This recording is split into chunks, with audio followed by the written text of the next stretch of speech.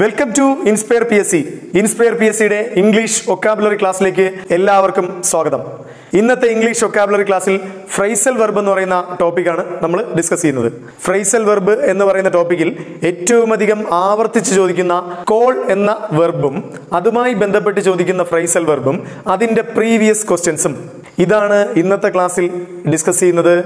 Phrasal വെർബിന്റെ രണ്ട് ടോപ്പിക്കുകൾ നമ്മൾ ചെയ്തു കഴിഞ്ഞതാണ് ലുക്ക് എന്ന് പറയുന്ന വെർബും അതുമായി ബന്ധപ്പെട്ട ഫ്രൈസൽ വെർബും പുട്ട് എന്ന് പറയുന്ന വെർബും അതുമായി ബന്ധപ്പെട്ട ഫ്രൈസൽ വെർബും. ഇത് രണ്ടും നമ്മൾ കഴിഞ്ഞ ക്ലാസ്സിൽ ചെയ്തതാണ്. അതുപോലെ തന്നെ വളരെ പ്രധാനപ്പെട്ടത് തന്നെയാണ് കോൾ എന്ന വെർബും അതുമായി ബന്ധപ്പെട്ട് സ്ഥിരം മത്സര പരീക്ഷകൾക്ക് ചോദിക്കുന്ന ഫ്രൈസൽ വെർബും. അപ്പൊ നമുക്ക് ഫ്രൈസൽ വെർബ് ആദ്യം നമ്മൾ മീനിങ് നോക്കുന്നു അത് കഴിഞ്ഞ് പ്രീവിയസ് ക്വസ്റ്റ്യൻസ് നോക്കുന്നു. ഓരോന്നായി നമുക്ക് നോക്കാം. ഫസ്റ്റ് പറയുന്നു കോൾ ഓഫ്. കോൾ ഓഫ് എന്ന് പറഞ്ഞാൽ ക്യാൻസൽ എന്നാണ്. റദ്ദ് ചെയ്യുക അവസാനിപ്പിക്കുക എന്നൊക്കെയാണ് കോൾ ഓഫ് എന്ന് പറയുന്ന ഫൈസൽ വെബിന്റെ അർത്ഥം. അപ്പൊ ഇതിൽ കൺഫ്യൂഷൻ വരാൻ സാധ്യതയുള്ളത് പുട്ട് ഓഫും കാൾ ഓഫും പുട്ട് ഓഫ് എന്ന് പറഞ്ഞാൽ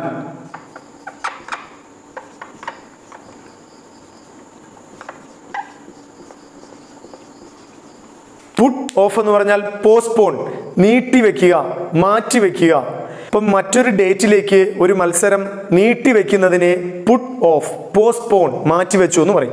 എന്നാൽ കാൾ ഓഫ് എന്ന് പറഞ്ഞാൽ ക്യാൻസൽ ചെയ്തു. അത് എന്നേക്കുമായി നിർത്തലാക്കി എന്നാണ് എന്റെ അർത്ഥം. ഇത് രണ്ടും അത്യാവശ്യം കൺഫ്യൂസിംഗ് ആയ വേർഡാണ് നോട്ട് ചെയ്ത് പഠിക്കുക. പഠിക്കാൻ എളുപ്പം ഇതാണ്. കാൾ ഓഫ് എന്ന് പറഞ്ഞാൽ സി സി കോളിന്റെ സിയും ക്യാൻസലിന്റെ സിയും C C call off cancel put off P P പുട്ടിന്റെ പിയും പോസ്റ്റ്പോണിന്റെ പിയും പുട്ട് ഓഫ് എന്ന് പറഞ്ഞാൽ പി പി എന്നാണ്. അപ്പൊ ഇങ്ങനെ പഠിച്ചു കഴിഞ്ഞാൽ അത് ഒരിക്കലും മറക്കില്ല. Call off cancel C C. റദ്ദ് ചെയ്യുക അവസാനിപ്പിക്കുക. Put off postpone P P. Put off postpone എന്ന് പറഞ്ഞാൽ മാറ്റിവെക്കുക അല്ലെങ്കിൽ നീട്ടിവെക്കുക then the second word call on call at ഇത് രണ്ടും കമ്പയർ ചെയ്ത് പഠിക്കുന്നതാണ് ഏറ്റവും നല്ലത്. ഇത് തമ്മിൽ ചെറിയ വ്യത്യാസമേ ഉള്ളൂ. അതുകൊണ്ട് തന്നെ മത്സര പരീക്ഷകളിലെ സ്ഥിരം സാന്നിധ്യമാണ്. അപ്പൊ ഇത് രണ്ടും ശ്രദ്ധിച്ച് പഠിക്കേണ്ടത് രണ്ടിന്റെയും അർത്ഥം സന്ദർശിക്കുക എന്നാണ്. കോൾ ഓൺ എന്ന് പറഞ്ഞാലും കോൾ അറ്റ് എന്ന് പറഞ്ഞാലും രണ്ടിന്റെയും അർത്ഥം സന്ദർശിക്കുക എന്നാണ്. ഇതെങ്ങനെ വ്യത്യാസപ്പെട്ടിരിക്കുന്നു? അതാണ് നോട്ട് ചെയ്ത് പഠിക്കേണ്ടത്. ഓൺ എന്നാണ് വരുന്നതെങ്കിൽ അത് ഒരു വ്യക്തിയെ സന്ദർശിക്കുന്നു. കോൾ ഓൺ എന്നാണെങ്കിൽ വ്യക്തിയെ സന്ദർശിക്കുന്നു വിസിറ്റ് എ പേഴ്സൺ എന്നാൽ കോൾ അറ്റ് അറ്റ് എന്നാണ് വരുന്നതെങ്കിൽ അതൊരു സ്ഥലമാണ് സന്ദർശിക്കുന്നത്. വ്യക്തിയെ സന്ദർശിച്ചാൽ കോൾ ഓൺ സ്ഥലം സന്ദർശിച്ചാൽ കോൾ അറ്റ് അറ്റ് എന്ന് പറയുന്ന പ്രിപ്പോസിഷൻ ചെറിയ സ്ഥലങ്ങൾക്ക് മുന്നിലാണ് ഉപയോഗിക്കുന്നത്. അത് ഉപയോഗിച്ച് കണക്ട് ചെയ്ത് കഴിഞ്ഞാൽ രണ്ട് ഭാഗത്തും നമുക്ക് ഉപയോഗപ്പെടുത്താം. സ്ഥലങ്ങൾക്ക് മുന്നിൽ ഉപയോഗിക്കുന്ന പ്രിപ്പോസിഷൻ അറ്റാണ് കോൾ അറ്റ് എന്നാണ് വരുന്നതെങ്കിൽ അവിടുത്തെ അർത്ഥം വിസിറ്റ് എ പ്ലേസ് സ്ഥലം സന്ദർശിച്ചു. ഇത് രണ്ടും ഏറ്റവും അധികം കോൾ എന്ന വെർബുമായി ബന്ധപ്പെട്ട് പി എസ് സി ചോദിക്കുന്ന ക്വസ്റ്റ്യൻസ് ആണ്. രണ്ട് ക്വസ്റ്റ്യൻസും നോട്ട് ചെയ്ത് പഠിക്കുക. Call on visit a person വ്യക്തിയെ സന്ദർശിച്ചു. കോൾ അറ്റ് സ്ഥലങ്ങൾക്ക് മുന്നിൽ അറ്റ് എന്ന പ്രിപ്പോസിഷൻ ഉപയോഗിക്കുന്നു. അതുകൊണ്ട് തന്നെ കോൾ അറ്റ് എന്ന് വന്നാൽ വിസിറ്റ് എ പ്ലേസ് ഒരു സ്ഥലം സന്ദർശിച്ചു.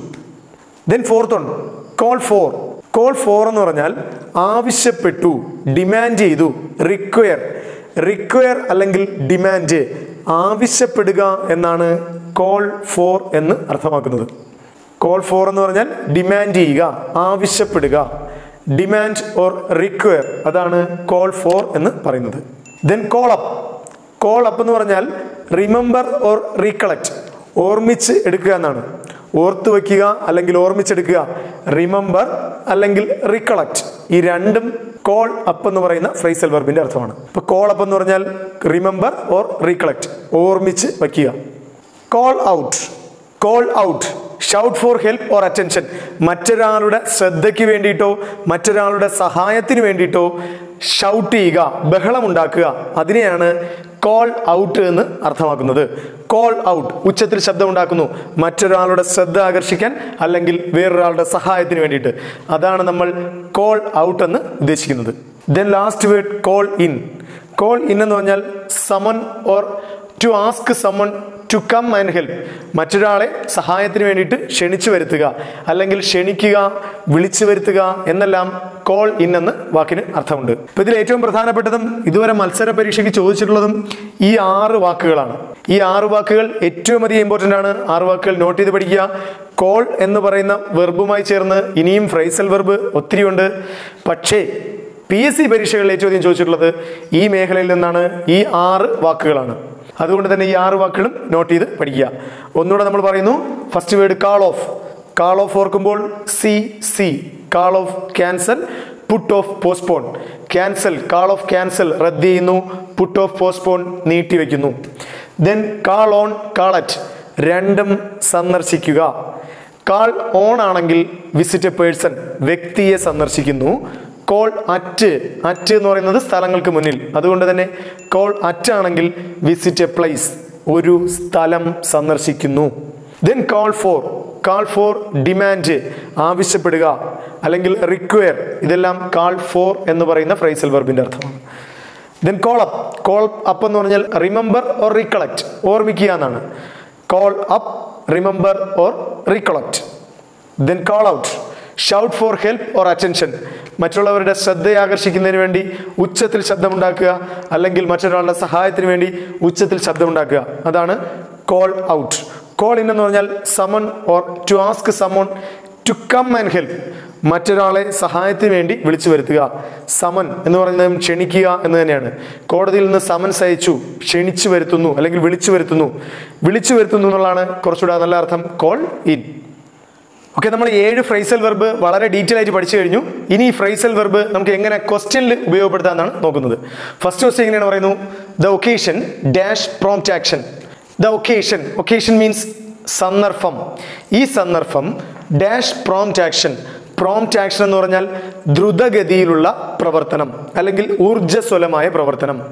ഈ സന്ദർഭം ഡിമാൻഡ് ചെയ്തിരുന്നത് ഏറ്റവും ദ്രുതഗതിയിലുള്ള പ്രവർത്തനത്തെയാണ് അല്ലെങ്കിൽ ഏറ്റവും ഊർജസ്വലമായ പ്രവർത്തനത്തെയാണ് ഡിമാൻഡ് ചെയ്തിരുന്നത് എന്നാണ് ഉദ്ദേശിക്കുന്നത്. അപ്പൊ അങ്ങനെ ഡിമാൻഡ് ചെയ്തിരുന്നു എന്ന അർത്ഥം വരുന്ന ഏത് ഫ്രൈസൽ വെർബാണെന്ന് നോക്കാം. കാൾഡ് അപ്പ് മീൻസ് റിമെമ്പർ അല്ലെങ്കിൽ റീകളക്ട് ഓർത്തിരുന്നു എന്നാണ് കാൾഡ് ഓൺ സന്ദർശിക്കുന്നു വ്യക്തിയെ സന്ദർശിക്കുന്നു. കാൾഡ് അറ്റ് എന്ന് പറഞ്ഞാൽ ഒരു സ്ഥലം സന്ദർശിക്കുന്നു. Called for called for means demand the occasion called for prompt action ഈ സന്ദർഭം ദ്രുതഗതിയിലുള്ള പ്രവർത്തനമായിരുന്നു ആവശ്യപ്പെട്ടിരുന്നത്. അതാണ് കാൾഡ് ഫോർ എന്നാണ് answer then the second question the meeting has been dash due to hartal. The meeting has been dash due to hartal. Hartal കാരണം ഈ meeting എന്ത് ചെയ്യപ്പെട്ടു? റദ്ദ് ചെയ്യപ്പെട്ടു. ക്യാൻസൽ ചെയ്യപ്പെട്ടു എന്നാണ് ഉദ്ദേശിക്കുന്നത്. ഇപ്പൊ ക്യാൻസൽ എന്നുള്ള അർത്ഥം തരുന്ന ഫ്രൈസൽ വെർബ് ഏതാണെന്ന് നോക്കുക. ക്യാൻസൽ എന്ന് പറയുന്നത് first call at visit a place call on visit a person call off cancel call in summons എന്നാണ് അർത്ഥം.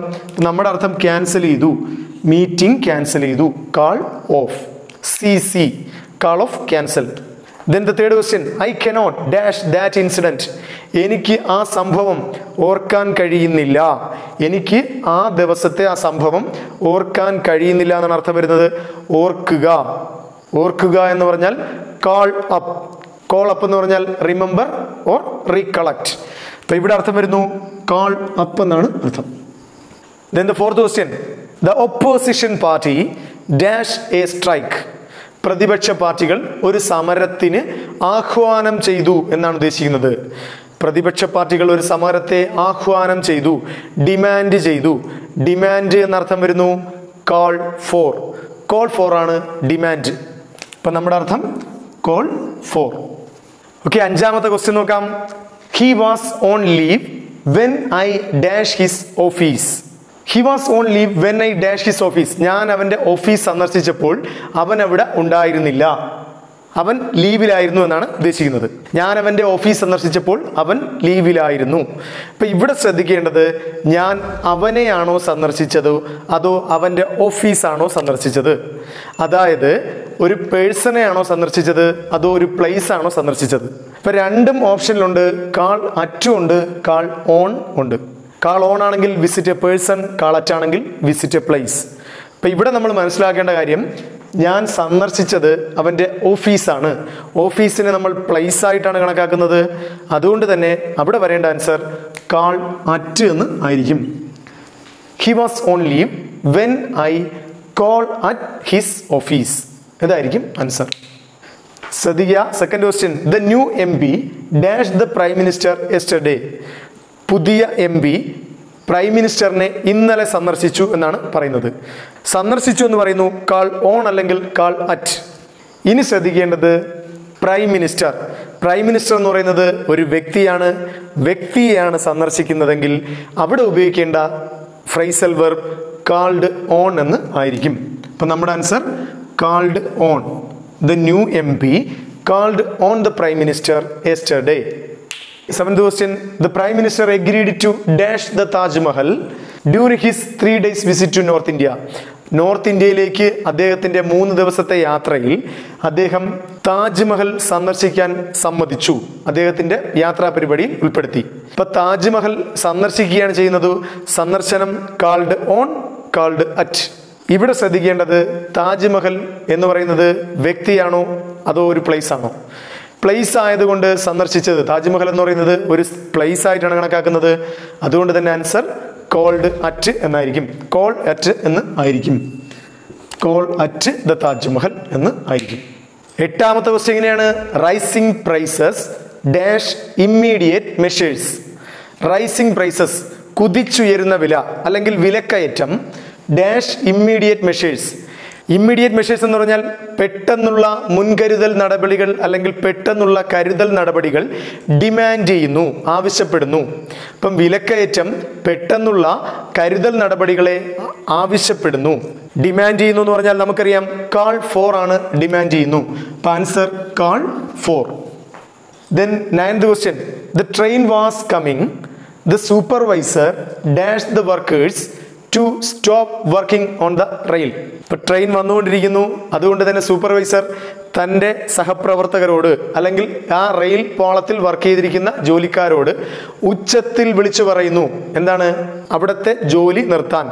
അതാണ് അപ്പോൾ ഉച്ചത്തിൽ വിളിച്ചു പറയുന്നു. ഷൗട്ട് ഫോർ ഹെൽപ്പ് അല്ലെങ്കിൽ ഷൗട്ട് ഫോർ ദ അറ്റൻഷൻ മറ്റുള്ളവരുടെ ശ്രദ്ധ തിരിക്കാൻ വേണ്ടി ഉച്ചത്തിൽ നിലവിളിക്കുന്നു. അല്ലെങ്കിൽ ഷൗട്ട് ചെയ്യുന്നു. അതെല്ലാം പറയുന്നു. കാൾ ഔട്ട് കാൾ ഔട്ടാണ് shout for help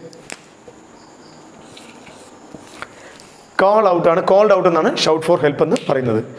Then the last question he has a plan to construct a house but his plan dash a lot of money അവനൊരു വീട് വെക്കാനുള്ള ഒരു ഐഡിയ ഉണ്ട്. എന്നാൽ അവന്റെ ആ ഒരു പ്ലാനിന് ഒരുപാട് പണം ആവശ്യമാണ്. ഒത്തിരി പണം ആവശ്യമുണ്ട്. ആവശ്യമുണ്ട് ഡിമാൻഡ് ചെയ്യുന്നു. അവന്റെ പ്ലാൻ ഒരുപാട് പണച്ചെലവ് ഡിമാൻഡ് ചെയ്യുന്നു ആവശ്യപ്പെടുന്നു. ആവശ്യപ്പെടുന്നു എന്നാണെങ്കിൽ അതിനർത്ഥം കോൾ ഫോർ എന്ന് ആയിരിക്കും. ഇപ്പൊ കോൾ ഫോർ എന്നുള്ളതാണ് ഡിമാൻഡ് ഇപ്പൊ നമ്മുടെ answer call for he has a plan to construct a house ഒരു വീട് നിർമ്മിക്കാൻ അവന് ആഗ്രഹമുണ്ട് ഒരു പ്ലാൻ ഉണ്ട്. പക്ഷേ അവന്റെ ആ പ്ലാൻ കോൾ ഫോർ ഡിമാൻഡ് ചെയ്യുന്നു. എ ലോട്ട് ഓഫ് മണി ഇതാണ് അതിന്റെ അർത്ഥം. ഏറ്റവും അധികം പി എസ് സി ആവർത്തിച്ച് ചോദിക്കുന്ന ഫ്രൈസൽ വെർബാണ് കോൾ എന്ന വെർബുമായി ബന്ധപ്പെട്ട ഫ്രൈസൽ വെർബ്സ് അതുമായി ബന്ധപ്പെട്ട ഏഴ് വേർഡ്സും അതിന്റെ മീനിങ്ങും പത്ത് പ്രീവിയസ് ക്വസ്റ്റ്യൻസും നമ്മൾ ചെയ്തു തീർത്തു കഴിഞ്ഞു. ഇപ്പം ഇത്തരം ഫ്രൈസൽ വെർബ് പഠിക്കുമ്പോൾ ഏറ്റവും അധികം ശ്രദ്ധിക്കേണ്ടത് പ്രീവിയസ് ക്വസ്റ്റ്യൻസ് ചെയ്ത് തീർത്ത് തന്നെ പോവുക. അല്ലെങ്കിൽ നമുക്കത് ഓർത്തിരിക്കാൻ വളരെയധികം ബുദ്ധിമുട്ടായിരിക്കും. എങ്ങനെയാണ് ഇത് ചോദിക്കുന്നത് എന്നറിഞ്ഞിരിക്കാൻ ഉറപ്പായിട്ടും പ്രീവിയസ് ക്വസ്റ്റ്യൻസ് തീർത്ത് തന്നെ പോവുക. വളരെ സിസ്റ്റമാറ്റിക് ആയാണ് വൊക്കാബുലറി നമ്മൾ എടുത്തു പോകുന്നത്. ഓരോ ടോപ്പിക്കും കംപ്ലീറ്റ് ചെയ്ത് കംപ്ലീറ്റ് ചെയ്താണ് പോകുന്നത്. പ്രീവിയസ് ക്വസ്റ്റ്യൻസ് മാത്രമേ ചെയ്തോളൂ ഇനി കോളിലെ അഡ്വാൻസ് ലെവൽ ഫ്രൈസൽ വെബ് നമ്മൾ അടുത്ത വരുന്ന ക്ലാസ്സുകൾ ചെയ്യുന്നതായിരിക്കും. ഈ വീഡിയോ ഇഷ്ടപ്പെട്ടാൽ ലൈക്ക് ചെയ്യുകയും ഷെയർ ചെയ്യുകയും ചാനൽ സബ്സ്ക്രൈബ് ചെയ്യാത്തവർ ചാനൽ സബ്സ്ക്രൈബ് ചെയ്യുകയും ചെയ്യുക. Okay thank for watching the video